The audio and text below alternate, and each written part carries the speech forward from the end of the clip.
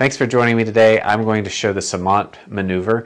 This is usually good when you have an otolith that has been displaced out of uh, its uh, origin uh, in the cupula and it is in the semicircle canal. The right posterior is what we're going to uh, be looking at. So to do that procedure, which is also helpful for desensitizing someone that has dizziness that's been diagnosed by their therapist, you would look away at 45 degrees to the left and up 30 degrees. Maintaining that position, you're going to lie quickly on your right shoulder. If you've done that correctly, you're looking at the ceiling. This is provocative in nature, so you're going to want to hold it even though it may be uncomfortable. And after the one minute, you're going to go all the way to your left shoulder. It's very important to maintain your head position while you make that switch. So I'm going to hold and go all the way down.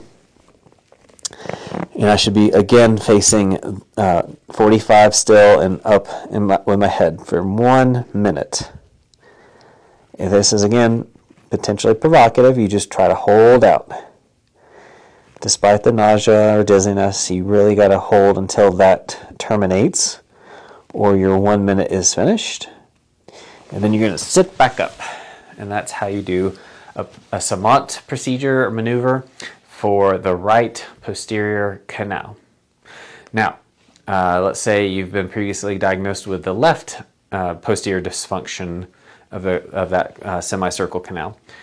Then it's all backwards. You turn to the right, 45 degrees, look up 30 degrees, and quickly go to your left shoulder.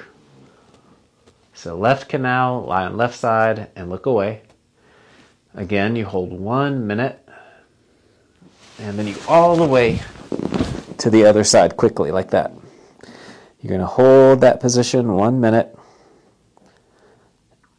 and then return to an upright position.